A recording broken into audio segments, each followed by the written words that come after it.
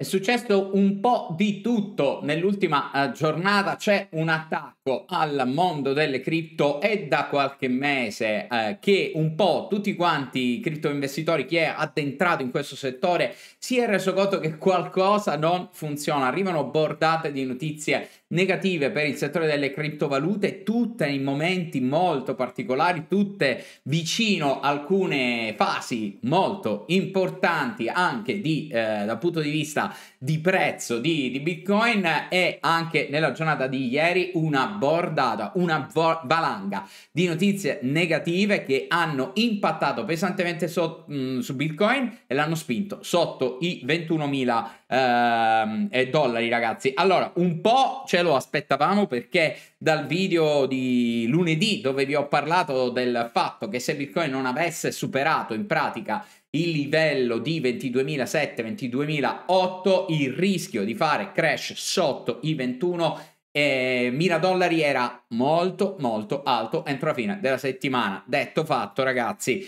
arrivavano um, con l'aggiunta appunto anche di queste poi notizie negative, Bitcoin si è spinto addirittura sotto i 20.000 dollari, uh, livello um, che insomma è psicologico più che tecnico, ragazzi, che qui insomma in questo caso adesso sta lottando con il livello psicologico, il livello tecnico invece era esattamente 21.000 e qualcosa circa che era il minimo di febbraio che cosa è cambiato? Che cosa sta succedendo? Come cambia l'analisi ciclica, l'analisi tecnica del mercato? Lo vediamo nel video di lunedì. Oggi invece andiamo a fare una cosa diversa, ragazzi. Andiamo a ragionare su tutte quelle che sono state queste news bombardate nella giornata di ieri per innescare un po' una spirale negativa si parte dalle news anche del mercato old, ragazzi. Le news relative alla Silicon Valley Bank, che in pratica sta uh, per chiudere i battenti, ancora non si capisce bene, ma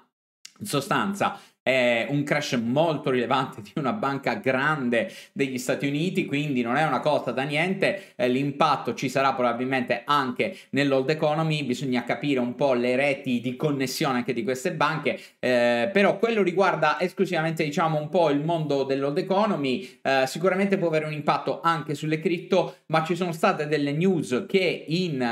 eh, proprio questa giornata, in questa settimana hanno impattato invece in maniera notevole proprio sul mercato del, eh, del, di Bitcoin, sul mercato delle criptovalute. In primis le questioni legate a Biden che da un anno continua fonda- mm, fondamentalmente ad avere nel suo mirino tutto quello che riguarda il mondo delle cripto insieme alla SEC, insieme alla eh, regolamentazione americana che in generale gli Stati Uniti hanno preso di mira questo settore cercando appunto di ricondurlo a quello che loro vogliono da tanti punti di vista. Vedremo in questo video anche la questione legata alla uh, Silk Road di Bitcoin trasferiti ragazzi proprio nella giornata eh, di, eh, eh, di qualche giorno fa, di ieri insomma, che sono stati trasferiti su Coinbase è eh, immediatamente iniziata poi una fase ribassista, molti dicono che è connessa la questione e potrebbe essere in effetti così, quindi vendite dei bitcoin sequestrati da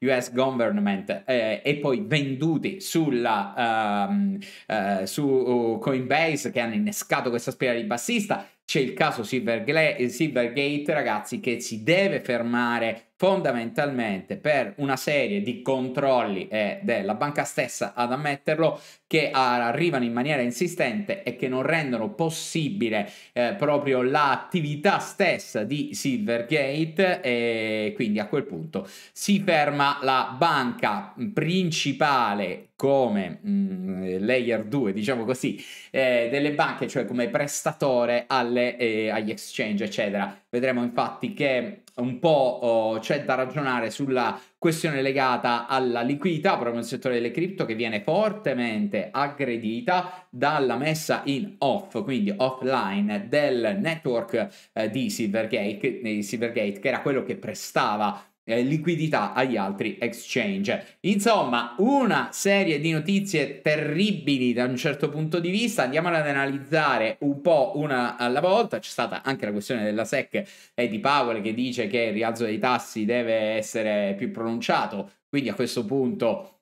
la domanda dovrebbe essere: ma allora hai sbagliato perché un mese fa avevi detto che andava bene così? Quindi vediamo un po' se certe volte magari molti si pongono anche il dubbio che queste informazioni delle banche centrali sono fatte un po'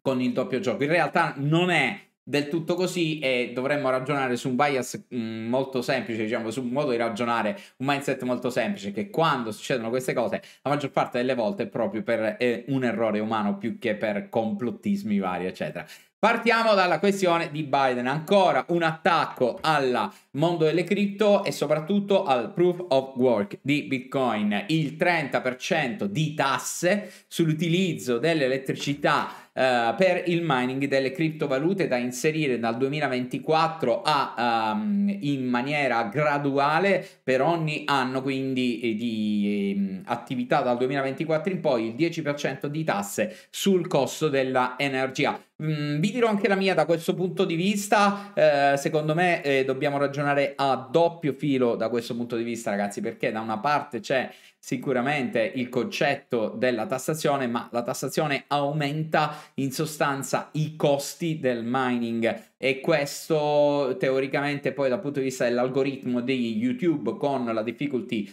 Uh, si dovrebbe livellare in sostanza e quindi essere assorbito uh, dalla struttura stessa di, eh, di, Bitcoin e in teoria aumentando i costi del mining dovrebbe uh, incrementare anche teoricamente il prezzo no, dei mercati. Allora c'è comunque una doppia modo di guardare questo bicchiere mezzo pieno mezzo vuoto, però c'è un'altra considerazione da fare ragazzi. È palese che continua diciamo un attacco da questo punto di vista. Quindi eh, il 30% tra le altre cose viene anche indicato che riguarda sia le fonti on grid che quelle off grid cioè le, le fonti in pratica uh, di energia che vengono auto, cioè che non sono collegate alla rete, come se io eh, dico faccio, metto due pale eoliche nel mio uh, territorio e, e, produco energia da quelle pale eoliche e attacco una mining farm e, e quindi sono off grid, non sono collegato alla rete elettrica, uh, mi tassi anche quelle, cioè che sono energie che io sto producendo da solo.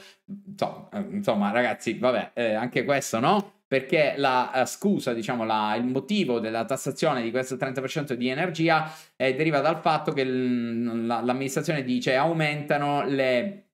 eh, i costi anche per eh, gli utenti normali e quindi è giusto eh, tassarle. Insomma, questa Oh, bisogna vedere poi se verrà applicata o meno, ma questa proposta eh, insomma eh, va uh, ben studiata ragazzi e di nuovo appunto uh, insomma si vede un po' il concetto uh, del, dell'aggressione un po' no sense no? al settore delle cripto a prescindere diciamo così non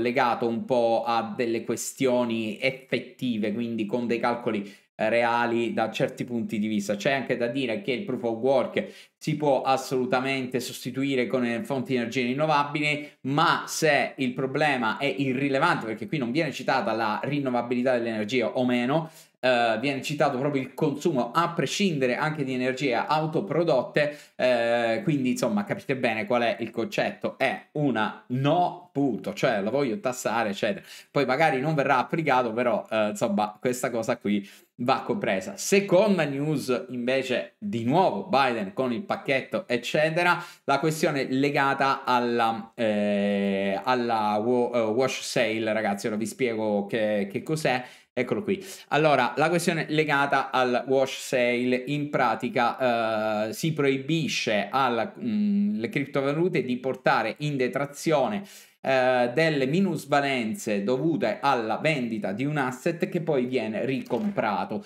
In sostanza era già vietato per le azioni e le obbligazioni, su questo si può anche dire che effettivamente l'amministrazione Biden non fa um, una discriminazione perché in realtà era già presente sulle azioni e le obbligazioni quindi il, la vendita di una uh, asset in minusvalenza per accumulare minusvalenze e, e de- toglierle dalle, dalle tasse in pratica e il riacquisto simultaneo dello stesso asset deve essere eliminato e insomma eh, anche le cripto dovranno essere equiparate alle azioni e alle obbligazioni, quindi la cosiddetta questione, questione della wash sale viene eliminato, insomma non si potrà fare più. Anche questo potrebbe aver spinto moltissimi a liquidare le proprie posizioni sulle cripto in questa fase per poi ricomprarle, quindi agire appunto da wash sale prima che magari venga uh, vietato. Anche questo è un altro punto interrogativo, ragazzi, che eh, bisogna un pochettino uh, ragionare.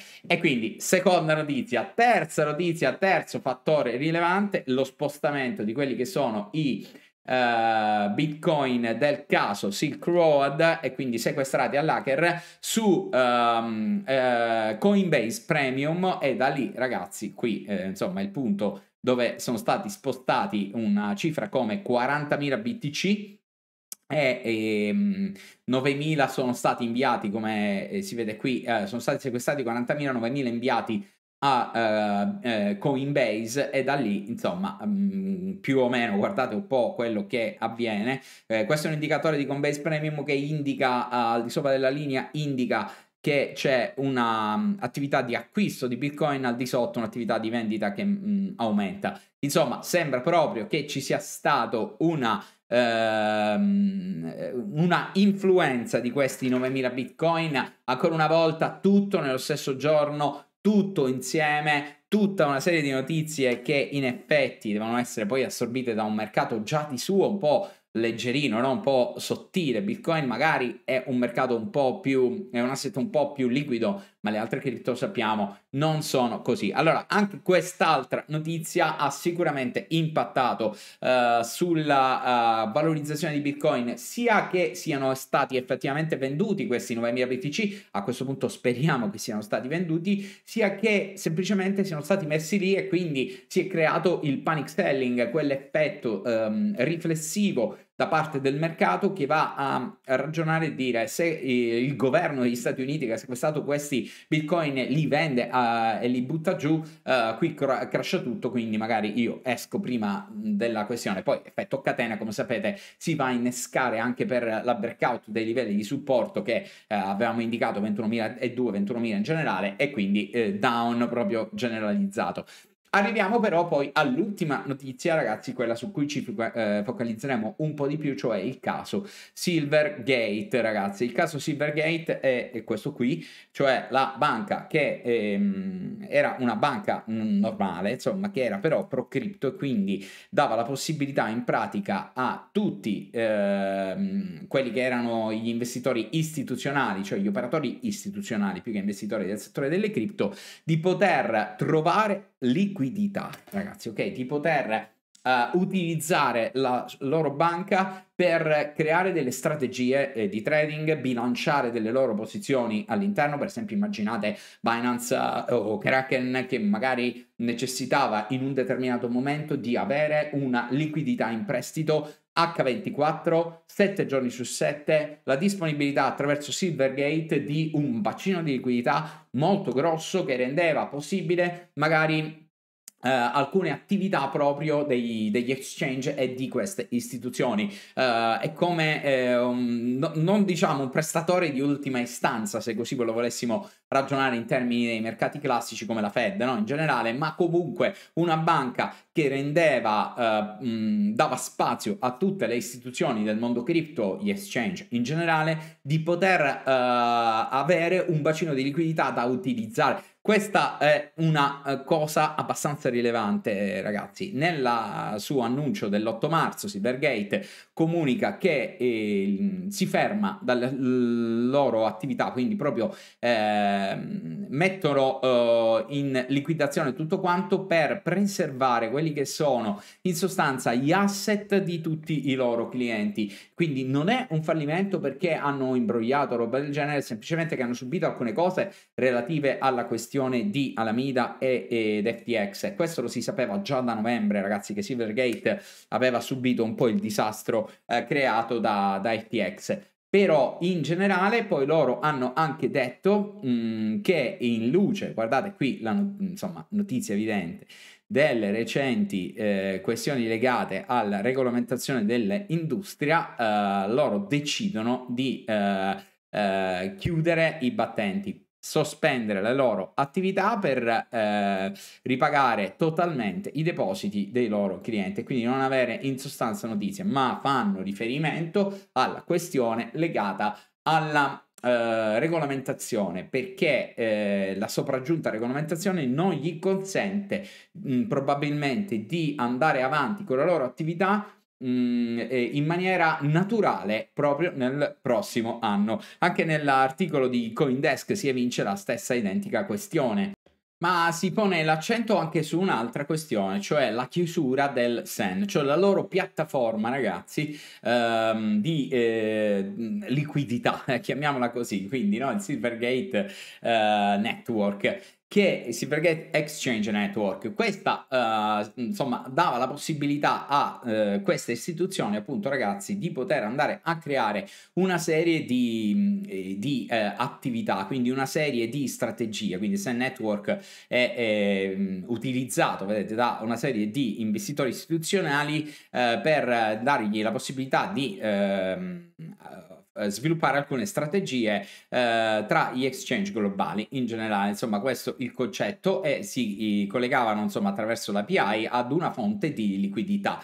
Un po' quello che vi eh, ho accennato. Ora, ragazzi, questo ehm, eh, Silvergate Exchange Network è un po' una chiave dei mercati perché nel momento in cui io vado eh, a toccare il bacino di liquidità è un po' come una riserva idrica, immaginatela così, di un um, organismo vivente. Se io vado a, a toccare la riserva idrica mh, mm, e quindi l'acqua eh, di quell'organismo, cosa faccio ragazzi? In pratica induco eh, quella struttura a eh, collassare su se stessa perché alcuni tipi di operatività non si potranno più effettuare in quanto questo bacino di liquidità viene a mancare. E quindi la possibilità che per investitori istituzionali si mh, vada insomma ad appoggiarsi su un'altra struttura bancaria in questo caso tutta regolamentata e quant'altro una banca comunque eh, mi pare 25 anni di attività insomma questa banca eh, addirittura mh, esisteva ai tempi di Lehman Brothers.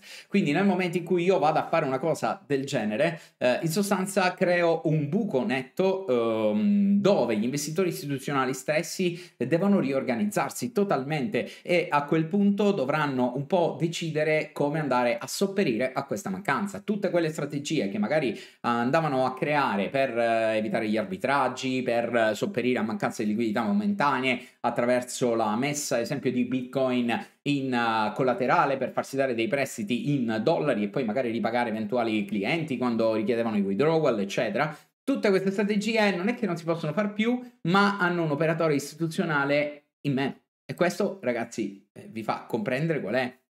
il uh, reale eh, problema di, di fondo di, di, insomma, di questa situazione, cioè la uh, aggressione, se così volessimo dire, alla fonte primaria di liquidità, a una delle fonti primarie di liquidità eh, che collegavano il mondo cripto anche al mondo old economy. Questi sono il uh, network um, di, della, di Silvergate, sono i volumi ragazzi, del, eh, per ogni quarter eh, di, che venivano scambiati attraverso questo network. Fatevi un po' voi le vostre considerazioni. Qui siamo anche in fase in piena pool, erano 200 40 billion, no, qui siamo comunque a 190 e anche negli ultimi uh, quarter, quello che hanno visto anche il mh, mm, disastro insomma di FTX, comunque siamo sui 100 billion di uh, movimentazione e attraverso uh, questo tipo di rete. Quindi questa rete non esiste più un altro attacco al mondo delle criptovalute,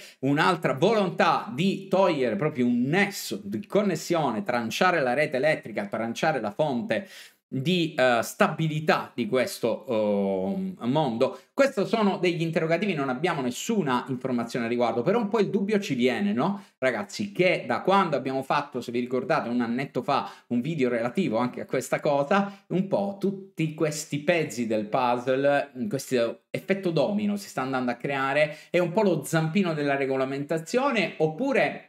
una semplice mala gestione magari di queste società, chi rimpiazzerà questa piscina, questa pool di liquidità per gli istituzionali eh, che eh, sarà assente da Silvergate? Nel frattempo Cosa può succedere? Perché se noi non abbiamo una fonte di liquidità, ragazzi, non abbiamo questo cuscinetto all'interno di un mercato, può divenire estremamente più volatile, molto più pericoloso, molto più rischioso e questo ancora di più potrebbe innescare il, um, la, um, diciamo il, la fuoriuscita dei retail o di chi magari non riesce a stare in un mercato del genere proprio perché magari diventerebbe più volatile, più difficile da tradare e aumenterebbero le difficoltà anche per gli exchange stessi. Allora, aspettiamo un po' di tempo prima di ragionare su determinate cose, ma questi sono i fatti, questo è quello di cui abbiamo parlato. Cosa ne pensate voi? Attacco sì, attacco no al settore delle cripto, ma soprattutto c'è solo una mh, volontà di regolamentazione o una volontà di annientamento? Vi lascio con questo dubbio, ne parliamo poi nelle prossime settimane, vediamo un po' cosa ne pensate voi nei commenti. Ciao a tutti!